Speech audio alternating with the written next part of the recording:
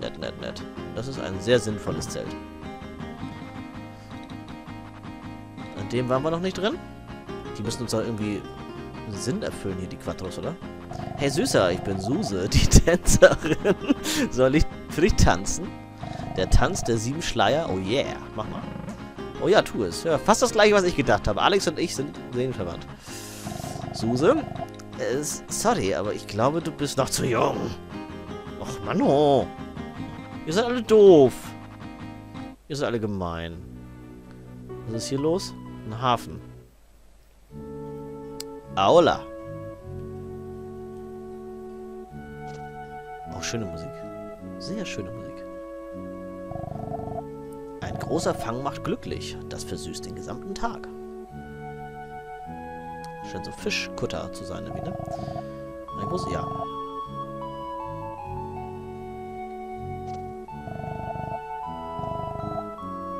Glaube, mit diesem Schiff können wir irgendwann noch reisen demnächst. Du willst verreisen? Das geht nicht. Wir wissen nichts über Navigation. Vor einiger Zeit suchte ein spanisches Schiff nach neuen Kontinenten. Ah. Wenn sie Erfolg haben, öffnet das den Weg zu unbekannten Ländern. Mhm. Verschlossen. Ach, das ist eine Tür. Das habe ich gar nicht richtig erkannt. Okay. Dir hatte ich gesprochen, ne? Ja. Vielleicht auch nicht, aber jedenfalls sagst du alles das gleiche. Was ist hier? Genau gucken, ist hier irgendwas? Nö. Erstmal nicht. Also hier können wir später, noch, äh, später noch was machen, auf jeden Fall. Aber das ist schöne Musik, muss ich mal so sagen. Ach ja. Gut, dann machen wir jetzt mal Bekanntschaft mit diesem Ort, der sich Aula nennt. Aula. Oh, das sieht nach einem Arzt aus. Hospital. Dr. Emilio forscht nach Mitteln gegen Infektionskrankheiten. Er verteilt es kostenlos an der Rezeption. Okay. Dr. Emilios Freund wird vermisst. Oh ja. Sein Freund heißt Columbo.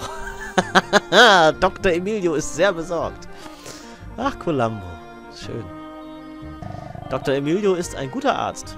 Er behandelt die Armen kostenlos. Ja, das ist ja so eine Art Robin Hood unter den Ärzten. Sehr schön. Wenn wir bessere Medizin hätten, könnten wir mehr Leben retten. Ah, Dr. Emilio ist darüber sehr verzweifelt. Also hier wird Medizin verlangt. Wir müssten uns normalerweise merken, wer was benötigt. Aber ich hoffe, ich versuche das mal in meinem Kopf zu behalten. Also hier wollen sie Medizin haben. Unser Kind leidet an Fieber. Dr. Emilio tut alles, was er kann. Kann ich mit dem auch reden? Stöhn. Es ist so heiß. Ich fühle mich schrecklich. Ja. Wie war denn das? Medikamente, Medikamente, irgendwo... Hm. Wir werden auf jeden Fall irgendwie noch nach und nach den ganzen Leuten helfen und die Wirtschaft ankurbeln. Was ist los? Du bist krank? Du siehst doch kerngesund aus. Ja, bin ich ja auch. Kann ich hier von der Medizin naschen?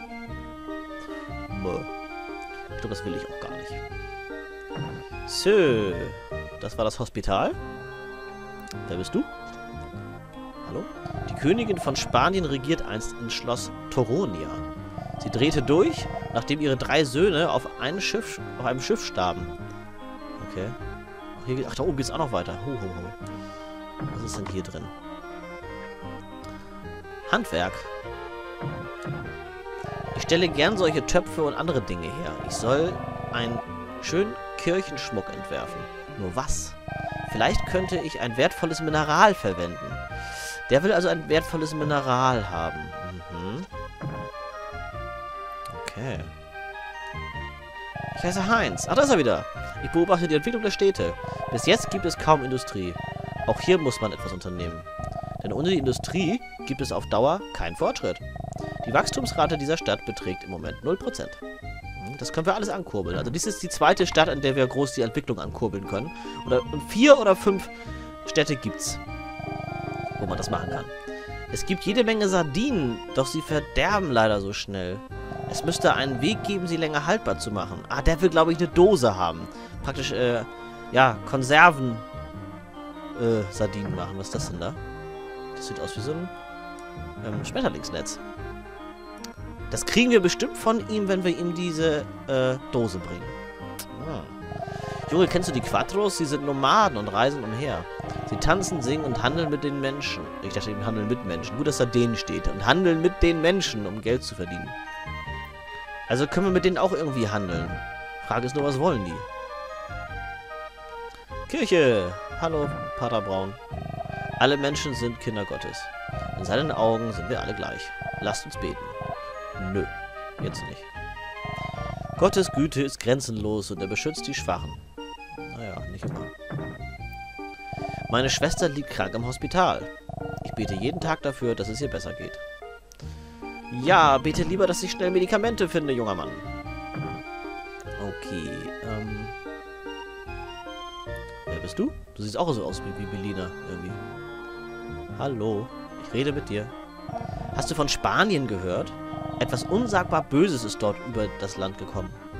Mhm. Oh, im Orden eine Truhe? Ein Glückselixier. Das nehmen wir doch mal direkt. Gleich austrinken. Und? Ein Glück? Punkt. Jo. Was siehst du? Das passt schon. So, was haben wir hier? Wer bist du? Schloss Toronia soll es vier mysteriöse Bilder geben. Angeblich enthält es Juwelen anstatt der Augen. Das führte dazu, dass sich viele Diebe dafür interessierten. Aber keiner kam je zurück. Okay. Ah, interessant. Also Juwelen in den Bildern im Schloss. Vielleicht können wir die ja rausnehmen und dann irgendwie damit handeln. Mit Juwelen. Vielleicht ist das ja dieses äh, spezielle Mineral, womit er seine Töpfe verzieren will. Könnte vielleicht sein. Oh! Ba, ba, ba, ba, bam, ein Händler! Welcome! What are you buying? Was war das denn nochmal? Ach, das sind die Fluchdinger. Götterknollen. Ja, ich habe ich ja noch genug, ne? Kann ich mir so viel kaufen? Ach, wir konnten vorher gar keine Götterknollen kaufen. Ich kaufe mal sechs Stück. Okay, der hat nur Kräuter. Du hast doch bestimmt wieder eine Waffe. 980. Minus 7. Ja, den kaufe ich bestimmt. Die Rüstung bringt plus 4. Ja, das ist ja alles nicht so doll, ne? Soll ich die Rüstung kaufen? Na, wir haben ja genug Geld. Wir haben genug Geld, komm, wir kaufen die Rüstung. Ja, mehr hat er nicht, was wir gebrauchen können. Dann gehen wir doch mal in unsere Rüstungsmenü hier rein und rüsten uns mit der Rüstung aus. Silberrüstung. Klingt gut. Klingt sehr stabil. Haben wir ausgerüstet. Sehr schön. Dann gehen wir nochmal hier, gucke. Ein Inn. Da können wir bestimmt pennen. Ja, vielleicht. Und gibt's hier was zu essen? Mmh, oh, lecker. Lecker. Sehr schön. Und da ist auch noch Fisch daneben. Lecker. Und noch ein Stück trinken?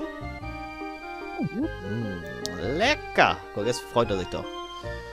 Ach komm, Ach, das, das wächst wieder nach. Seht ihr, der Fisch ist wieder da. Das ist interessant. Wächst wieder nach, ist auch gut. Ich habe dich hier noch nie gesehen. Wo kommst du her? Was? Kanalisation? da habe ich eine gute... Da habe ich einige Geschichten gehört. Da war dieser Mann, der uns vor seinen großen Träumen erzählte. Von seinen großen Träumen. Ich kann nicht reden. Er hieß Columbo. Und er sagte, er suche nach einem neuen Kontinent. Er ging nach Spanien, um seine Geschichte zu erzählen. Mhm. Kommt mir alles sehr bekannt vor. Ist das Roy? Wir werden uns wiedersehen. Das weiß ich.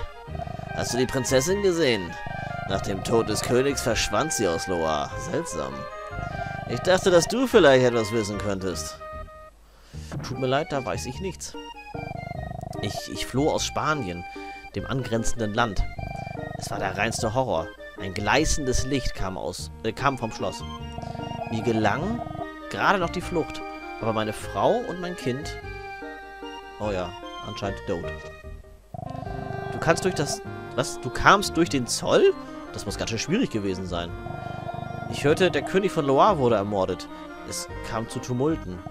Ach so, ich sollte unseren müden Gast nicht überanstrengen. Es macht zehn Taler. Okay. Komm, Okay, ich bleibe. Das Zimmer ist dort. Gute Nacht. Okay, schlafen wir eine Runde. Ja. Wenn ich so auf die Uhr gucke, ja, es sind noch fünf Minuten. Die spielen wir aber auch noch. Ich hätte sonst ganz gerne einen Cut gemacht. Damit wir in der nächsten Runde praktisch gleich den nächsten Dungeon anfangen können. Aber macht ja nichts, dann fangen wir halt gleich, diesmal gleich schon an. Du willst essen? Unsere Spezialität sind gegrillte Sardinen. Was meinst du? Willst du sie mal kosten? Ich konnte ja gar nicht antworten, von daher... Nein. Anscheinend nicht. Also wir müssen bald mit dem Handel anfangen. Haben wir denn schon irgendwas, was die Leute hier gebrauchen können? Ich gucke nochmal hier in unser Inventar rein. Haben wir irgendwas bei uns? Wir haben eigentlich nur... Wir haben eigentlich nur Orchideen. Und ich glaube, für die weiß ich schon äh, unseren Empfänger. Aber gut. Erstmal können wir nichts machen. Wir betreten jetzt den nächsten Dungeon. Könnt ihr also in dieser Folge noch begutachten, das Schloss. Ich bin der Meinung... Alex! Sieh, diese Flüssigkeit ist pure Säure! Wenn du da reinfällst, wirst du bald anders aussehen. Ähm... Okay, also... Ah, ich kann hier lang. Okay, alles klar. Ja, ich kann mich erinnern, dass der Endgegner dieses Schlosses ziemlich hart war. Aber wir werden das ja dann sehen. Gut, betreten wir mal das Schloss. Oha. Wow. Noch nicht tot? Drei Stück? Die sind schon ziemlich stark jetzt. Also wenn ich drei Schläge brauche für so einen Typen. Halten wir uns erstmal links und gucken, was da los ist, oder? Ohne Spinne. Skelette, das finde ich aber ge geil. Fledermäuse, die kennen wir ja schon. Und da ist eine Spinne. Okay, die schießen. Ja, ist in Ordnung. So. Was haben wir denn da? Fledermaus. Bam. Die sind zumindest mit einem Schlag tot. Das ist ja schon mal akzeptabel hier. Ups, Alter. Verzeihung. Okay, was bringt uns das hier? Oh, da ist eine Truhe. Oh, nein, nicht runter. Ach, ich schon. Ich kann gar nicht runterfallen anscheinend. Auch gut. Das freut mich. Was haben wir hier? Hier ist auch eine Silberrüstung. Waldkraut. Ja, okay. Was ist das? Sieht aus, als wäre da ein Riss in der Wand oder so. Ne, ich glaube, das ist einfach nur so. Okay, da gab es einfach nur... Kann ich da reinspringen? Nee. Sieht nicht so aus.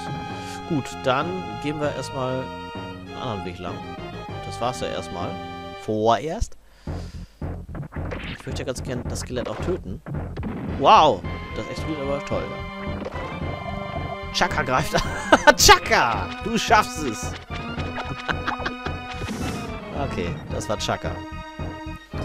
Dann gehen wir direkt mal an die rechte Seite des Schlosses. Die Musik ist, ja, die Musik hat was, ist so ein bisschen dramatischer. Ist halt so typische Dungeon-Musik halt, ne? Wobei mir insgesamt also die, die, die, die, die Lieder von den Dörfern und so in Städten immer am, am, am meisten gefallen bei Terranigma. So, dann gucken wir jetzt mal hier rechts. Das einigermaßen vernünftig aufgebaut ist, das Schloss, dann sollte das zwei Seiten haben. Das ist auf... Soll ich hier runterspringen? Okay, das war keine gute Idee. Joa. Dann würde ich sagen, müssen wir uns doch nochmal in die Mitte des Schlosses wagen. Machen wir euch nochmal kalt hier. Wenn ich euch kalt gemacht habe, würde ich sagen, ist es ach, an der Zeit für einen kleinen Cut. Und dann erkunden wir gleich den Hauptbereich des Schlosses dem nächsten Part. Ich gehe schon mal hier oben. Und da ist noch einer, den machen wir noch kalt zusammen. Komm her. Yay. Okay, so, die ist auch weg. Jo, Ah, hier können wir noch hochgehen. Oh, was sind das für Gemälde? Die Augen der Menschen wurden herausgeschnitten. Gespenstisch. Wie in einem Albtraum. Das sind also die vier Gemälde, mit denen wir... Also, ja, da wo, wo wir die Augen mit Edelstein anscheinend bestücken müssen. Oder, nee, die ja geklaut worden sind. Oder irgendwie sowas war das. Wir werden gucken, was genau dahinter steckt, Leute. Aber erst im nächsten Part. Und ich denke, wir sollten uns der Aufgabe stellen. Also schaltet beim nächsten Mal wieder ein, wenn es heißt Let's Play Terranigma. Wir sehen uns im nächsten Part.